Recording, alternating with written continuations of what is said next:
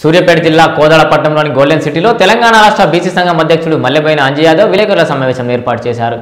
ఈ సందర్భంగా ఆయన మాట్లాడుతూ గతంలో రెండు వేల పద్దెనిమిది అసెంబ్లీ ఎన్నికల్లో స్వతంత్ర అభ్యర్థిగా పోటీ చేశానని గణనీయమైన ఓట్లు సాధించానని అయితే కొంతమంది నాయకులు తనపై కాంగ్రెస్ పార్టీకి అమ్ముడుపోయానని అసత్య ఆరోపణలు చేస్తున్నారని మండిపడ్డారు.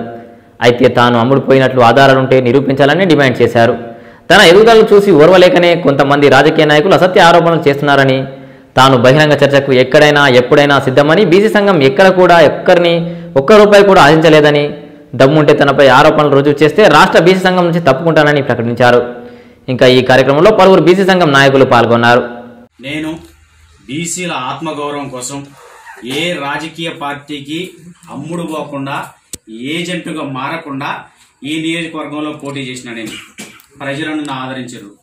కానీ నా మీద కావాలని చెప్పి నా వ్యక్తిగత ఎదుగుదలను తట్టుకోలేక అసూయతో ఈర్ష్యతో నేను ఒక రాజకీయ పార్టీకి అమ్ముడు పోయి పైసలు తీసుకున్నా అని చెప్పి కొంతమంది ప్రచారం చేస్తున్నారు.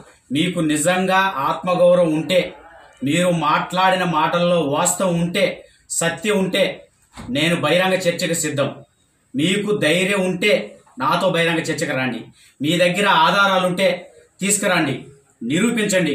ఈ కోదాడ నియోజకవర్గాన్నే కాదు తెలంగాణ బీసీ సంఘానికి మునుముందు రాజకీయాల్లో కూడా కొనసాగను. మీరు నిరూపిస్తే శాశ్వతంగా బయటికి వెళ్ళిపోవడానికి నేను సిద్ధంగా ఉన్నా. కానీ నా ఎదుగుదలను తట్టుకోలేక మీరు తెర వెనక ఎవరెవరికో వచ్చిన వాళ్ళకందరికీ ఇటు బహుజన బహుజనుల్లో ఉన్నటువంటి అంజీ యాదవ్ని బహుజనులకు దూరం చేయడం కోసం మీరు అసత్య ఆరోపణలు చేస్తున్నారు. నేను బహిరంగ సవాల్ ఇస్తున్నా మీ ఏ నాయకులైతే నా మీద అబండాలు వేస్తున్నారో వాళ్ళకు అదేవిధంగా సోషల్ మీడియాలో కూడా కొంతమంది కావాలని పెట్టిస్తున్నారు నా మీద కామెంట్లు. దానికి కూడా నేను సిద్ధంగా ఉన్నా. దమ్ముంటే మీలో ఎవరైనా చర్చకి సిద్ధమైతే రండి. అంజీ యాదవ్ ఏ రాజకీయ పార్టీకి సపోర్ట్ చేయలేదు.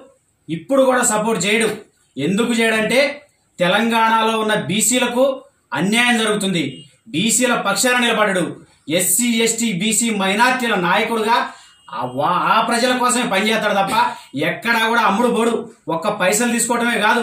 ఇన్ని సంవత్సరాల నుంచి కోదాడ చరిత్రలో అంజీ ఎక్కడైనా ఒక్క ఛాయ్ కోసం పైసలు అడిగి నేను కానీ ఎవరికన్నా ఫోన్ చేసి నా సంఘానికి కానీ నా కార్యక్రమాలకు కానీ నాకు కానీ నా వ్యక్తిగత ఎదుగుదలకు కానీ ఒక్క రూపాయి అడిగినట్టు నిరూపిస్తే నేను బహిరంగ చర్చకి సిద్ధం. మీరు కూడా సిద్ధంగా ఉంటే రండి. అంతేగాని అనవసరంగా అబండాలు వేయొద్దు. ఇప్పటికైనా మీ అన్ని పనికిరాని మాటలు పనికి మాటలు వాస్తవానికి దూరమైన మాటలు కాబట్టి దయచేసి మానుకోవాలని చెప్పి నేను మీడియా ముఖంగా తెలియపరుచుతున్నాను.